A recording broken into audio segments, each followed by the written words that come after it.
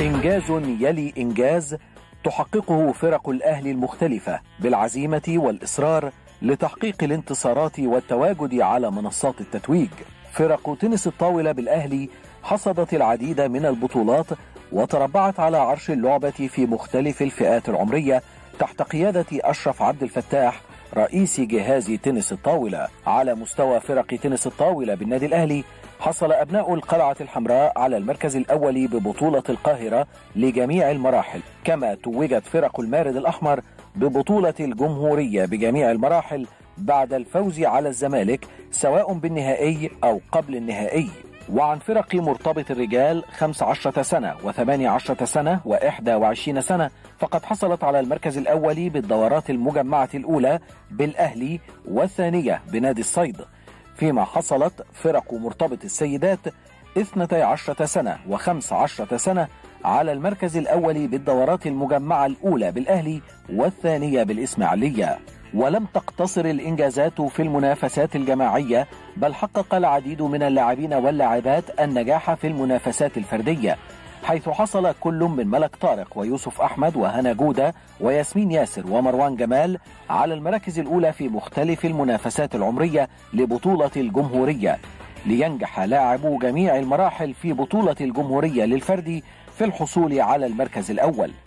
وتسعى فرق تنس الطاولة بالنادي الأهلي لمواصلة الانتصارات وحصد البطولات في مختلف المنافسات للحفاظ على اعتلاء منصات التتويج بشكل دائم.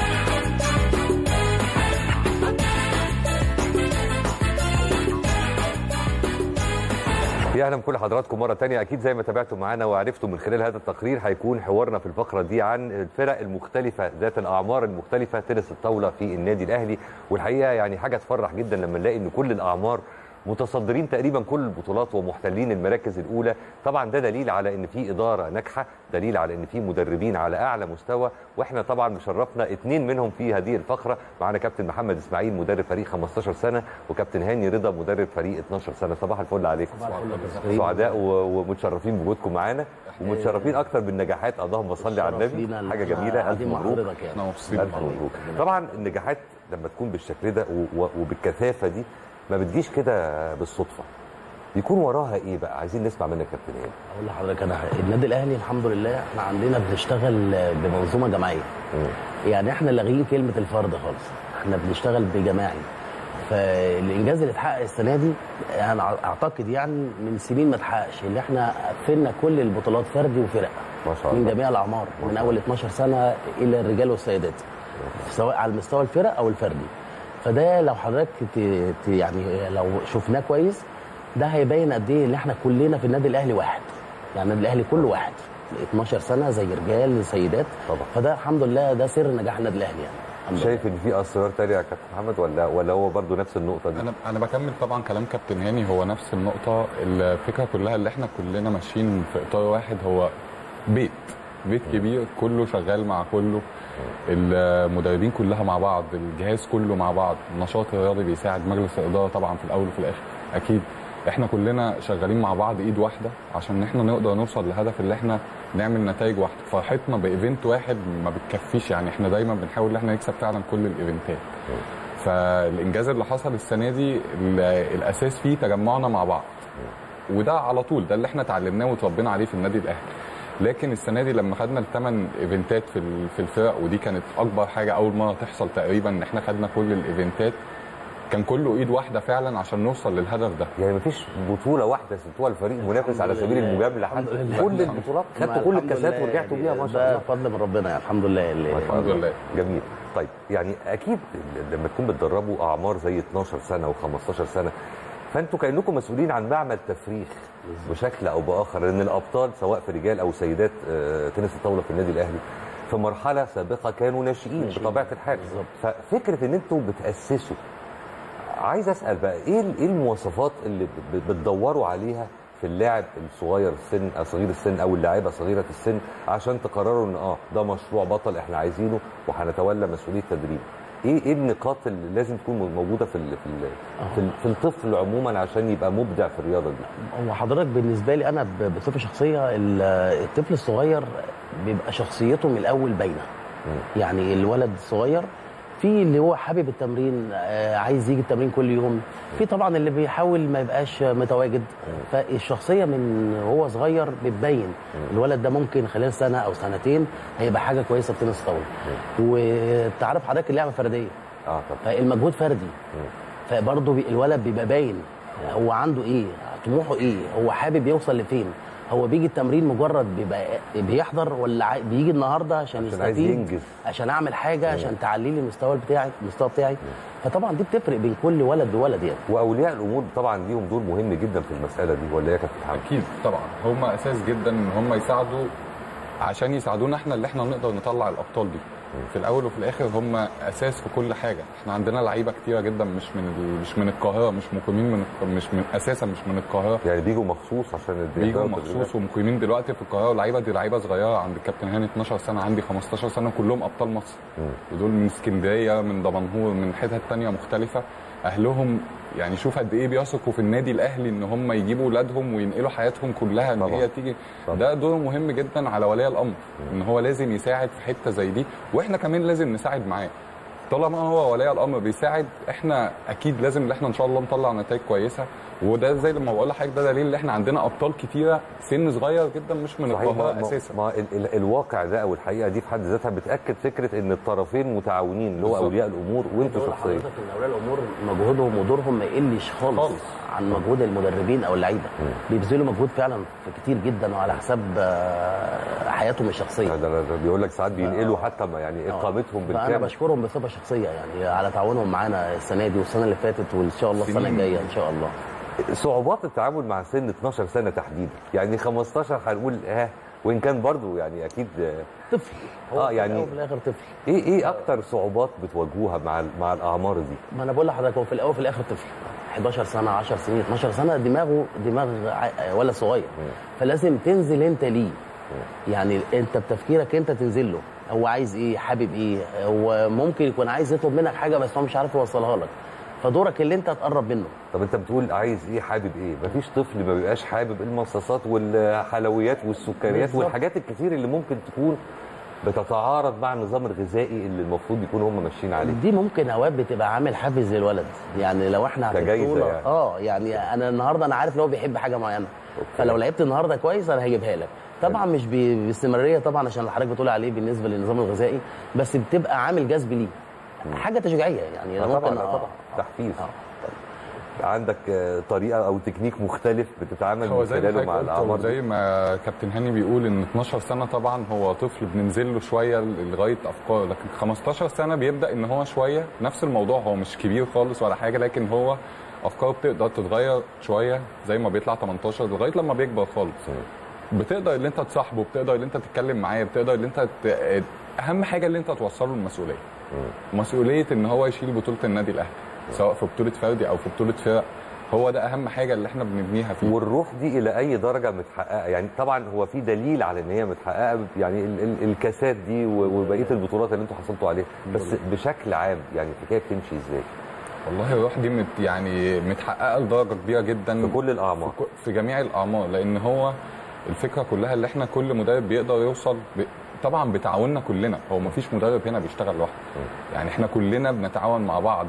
كلنا كمدربين ناشئين بنتعامل مع بعض. فوقينا الكابتن فتحي عبده طبعا مدير قطاع الناشئين والناشئات كابتن أشرف عبد الفتاح رئيس الجهاز كابتن عمرو المدرب العام.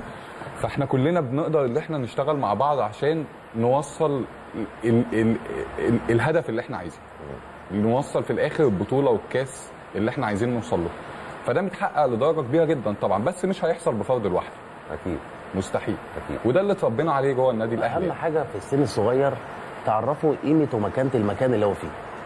يعني النادي الأهلي طول عمره المركز الأول هو ده اللي بينافس عليه.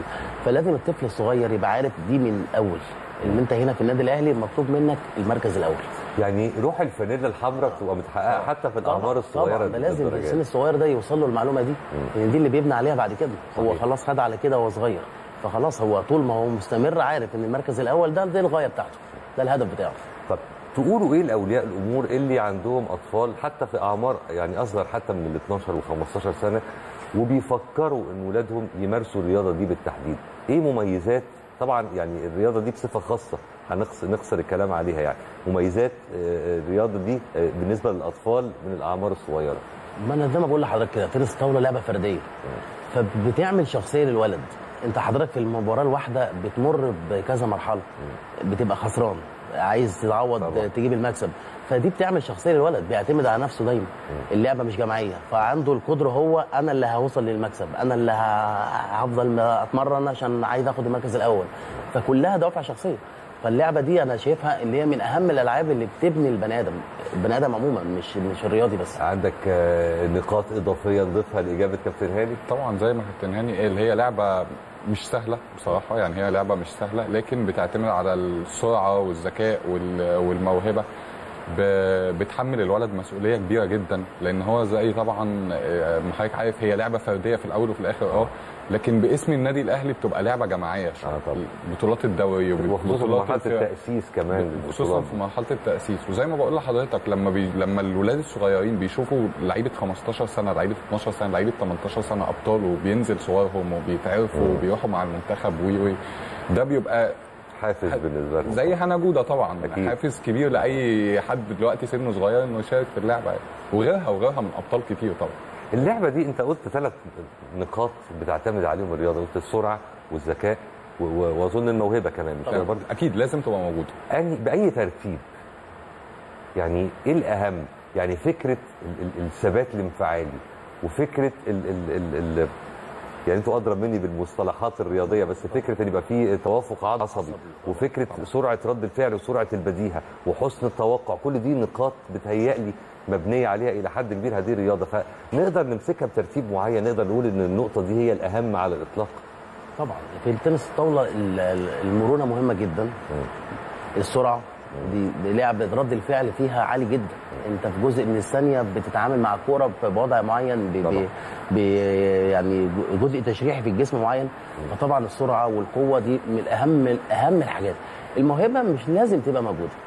يعني الموهبة ممكن آه، تتنمى. يعني ممكن تتنمى وممكن يعني في لعيبة بتبقى الموهبة عندها قليلة شوية. بس بكتر التمرين بيزيد. يعني الموهبة أنا شايفها آه، طبعا حاجة مهمة بس مش هي رقم واحد. أنا ممكن الت- التمرين الكتير والمعسكرات الكتير والاستعداد الشخصي بتاعك انت يعوض الحتة دي. طب إحنا في الأعمار دي بصفة خاصة اللي أنتم متوليين مسؤولية تدريبها سن 12 سنة وسن 15 سنة. لو قارنا بين ال ال ال المرحلتين السنيتين دول في النادي الأهلي في اللعيبة ال- الولاد والبنات وبين نظرائهم أو اللي زيهم في نفس المرحلة السنية ولكن عالميا إحنا فين منهم؟ يعني هل اللعيب في النادي الأهلي أو اللعيب المصري عموما سن 12 أو 15 سنة بنفس قوة اللعيب ال- الأمريكي اللعيب الصيني وخصوصا طبعا دول بص هو طبعا آه، الدول الاسيويه بصفة خاصة. الدول الآسيوية في حتة تانية. إحنا بنغلب علينا الطابع الأوروبي شوية. يعني إحنا تكنيك لعبنا أو ال style بتاعنا بيبقى باتجاه ليه. الجانب الأوروبي أكتر. okay. وأكبر دليل علينا آه، هنا جودة. مم. يعني هنا جودة وصلت دلوقتي اللي هي تبقى مصنفه رقم واحد على العالم. هايل. 15 سنه هايل فممكن عندنا لعيبة بس هي مطلوب حاجات كتير يعني. والاتحاد المصري بصراحة يعني ابتدى بيتعامل في النقطة دي بقى يعمل معسكرات للولاد بطولات بيشاركهم في بطولات دولية. فكتر البطولات دي هتعمل الفارق تقربه شوية. إن اللعيبة عندنا موهبة عندنا في في 12 سنة 15 سنة في مواهب كتير بجانب هنا جودة طبعا. بس فاضل لهم الاحتكاك. يعني يلعبوا ويحتكوا بالمدارس الأوروبية بره أكتر. لو حصل ده أنا أنا شايف إن إحنا ممكن نبقى قريبين جدا من المستوى اللي بره طب يعني كابتن هاني كان بيقول يا كابتن محمد إن لا إن لا الدول الآسيوية دول في حتة تانية طب إحنا ليه مش قريبين منهم في الحتة اللي هم فيها؟ ليه هم دايما متس... يعني متسيدين الموقف و... وأصحاب اليد العليا ودايما ليهم حتى style خالص جدا من أول مسكتهم للمضرب ناهيك بقى عن التكنيك اللي بيلعبوا بيه. اشمعنى هم في حتة تانية وإحنا مش معاهم ليه؟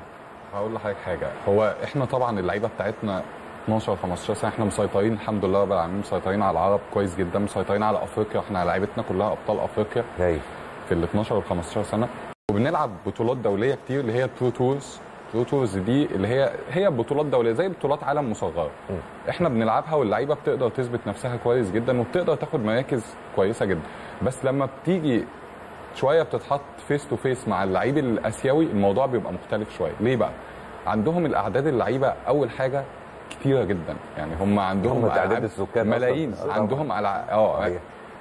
plus إن هو هناك ال- ال ping pong تقريبا أو يعني بنسبة كبيرة هي اللعبة الأولى في كل بلد منهم يعني اللعبة الأولى. فطبعا مدينها اهتمام. الطاولات موجودة في كل الطاولات مكان. موجودة في يعني الشوارع، يعني في ال- الطاولات موجودة في كل حتة. في كل حتة. العدد كتير جدا. العدد بال... وزائد الحاجة الاهم الاهم قوي اللي هو نازلين سبحان الله يعني هي المرونة عندهم آه. عند كده. يعني هي حاجة كده ده، آه. يعني فدي دي مش بإيدينا إحنا يعني. دي بنحاول نطورها في اللعيبه طبعا كل واحد بحسب إمكانياته يعني. طبيعه الحال. طب أنتوا إن شاء الله بت- بتجهزوا نفسكم لإيه؟ إحنا خلاص قفلنا صفحة البطولات اللي فاتت كلها اللي أنتوا قفلتوها. بسم الله ما شاء الله. في إيه بقى جاي ان شاء الله تشتغلوا عليه أنا؟ بس أستاذنك أنا عايز أشكر لعيبتي. اتفضل. طبعا, طبعا. إن هم السنة دي عملوا حاجة كبيرة جدا. الحمد لله إحنا بطولة الفرق السنة دي ما كناش المرشحين الأول ليها. اللعيبة في النادي الأهلي في المرحلة دي يعتبر من من من المدارس من قطاع الناشئين يعني آه، ولاد المدارس. المنافسين اللي كنا بنلعب معاهم جايبين لعيبة من بره. سواء النادي الزمالك أو نادي الإسماعيلي. فدي حاجة أنا مفرحاني أنا شخصيا إن اللي إحنا كسبنا باولاد النادي. فدي حاجة تحسب طبعاً، لل... طبعاً. للنادي الأهلي كله وإدارة نشاط الرياضه طبعا كابتن مراد عبد القادر وكابتن أشرف فتاح رئيس الجهاز كابتن عمرو رضا كابتن فتحي عبده. فعايز أشكر يوسف أحمد عمر هاني عمر هاني فوزي آه، يوسف الجمال وأدهم أحمد. ويعني أنا بشكرهم من هنا على المجهود اللي عملوه السنة دي يعني. عندك حد عايز تذكره أكيد. اتفضل. طبعا آه، هو الكابتن هاني بيشكر اللعيبة بتاعته وأنا. وأنا بشكر لعيبتي الأبطال طبعا كلهم ياسين وائل ومؤمن صلاح وياسين ياسر محمد عبد السلام محمد السيسي أنا بشكرهم طبعا جدا. وأنا بس عايز أزود حاجة إن اللي إحنا اللي حصل البطولة ال- الفرق اللي فاتت يعني كان موضوع كبير قوي يعني لأن إحنا مفيش مدرب في النادي الأهلي ما كانش موجود في الصالة. مفيش مدرب. يعني الكابتن هاني موجود معايا الكابتن ميدو محمد عبد الحميد مدرب 18 سنة موجود بكل حاجة وما عندوش ماتشات وجاي وبيشارك. كابتن أحمد عبد السلام كابتن كابتن عمرو رضا كابتن أشرف عبد الفتاح كابتن فتحي عبده كل الجهاز موجود. حتى في السيدات برضو قطاع السيدات كله كان موجود مع كله. كابتن عبد السلام كابتن هشام إسماعيل كابتن كابتن هيثم كابتن بسنت كل الج- كابتن عادل شومان طبعا كابتن أحمد عياد كل الجهاز كان موجود. حصل برضو حاجة كنت عايز أحكيها شوية إن كل اللعيبة لعيبة الرجال نفسها بتتصل باللعيبة قبل الماتشات على طول. يعني محمد البيلي طبعا خالد عصر محمد شومان عمر بدير كانوا بيتمرنوا معانا مع كانوا بيجوا يلعبوا مع اللعيبة بتاعتي قبل البطولات. أنا طبعا بوجه لهم الشكر حلوة. الروح دي قوي طبعا. ده اللي أنا عايز أقول لحضرتك اللي إحنا في الأهلي جماعة. آه يعني يعني. بطوله الفرق اللي فاتت اللي إحنا كنا فيها دي ده ال event كان 12 سنة أولاد وبنات. حضرتك تتخيل إن كل جهاز تنس طاولة موجود في الإسماعيلية؟ وفي نقطة كمان. يعني أنا فالروح موجودة الحمد لله ودي سبب رئيسي اللي إحنا فيه دلوقتي. جميل. يعني في نقطة برضه أنا عايز أزودها. على الكابتن كابتن عمرو رضا كان عنده ماتش في دوري في ال- في, في, في اسكندرية. كابتن سيد لاشين كان عنده ماتش دوري في اسكندرية مع كابتن عمرو. جم جم جم بطولة من اسكندرية الإسماعيلية هم على عشان يحضروا عشان معانا موجودين الماتشات. معانا. وكابتن سيد لاشين كابتن عمرو أسماء يعني كبيرة جدا إن هي تحفز لعيبة 12 و15 أنا حاسس إن أنتوا بتتكلموا على يعني مصنع مصنع خط إنتاج الابطال. المستقبليين. فيعني مبدئيا حاجة جميلة جدا.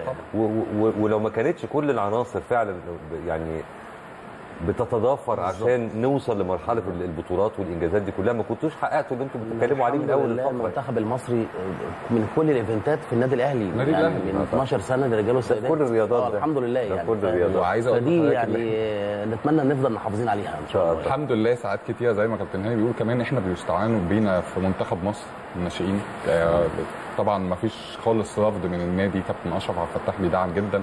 كابتن رؤوف بيدعم جدا اللي إحنا لو جالنا استدعاء للمنتخب نساعد شوية لأن لعيبتنا كلها بتبقى هناك. آه طبعا. فطبعا يعني بوجه لهم الشكر طبعا. موفقين إن شاء الله في كل اللي جاي وأنا سعيد جدا بان أنا كنت معاكم النهارده نورتونا وشرفتونا ومليون. مبروك على هذا الكم من الانتصارات المشرفة. وإحنا شرفنا بوجودنا مع حضرتك. اتشرفت بيكم ربنا يخليك. ربنا يخليك. اشكركم شكرا جزيلا. بستأذن حضراتكم هنطلع فاصل سريع ونرجع تاني عشان نستكمل مع حضراتكم آخر فقرة بقى حوارية في حلقتنا النهارده واللي هيكون منورنا من خلالها الأستاذ كريم سعيد رئيس تحرير موقع يلا كورة. فاصل ثم عودة اتفضل.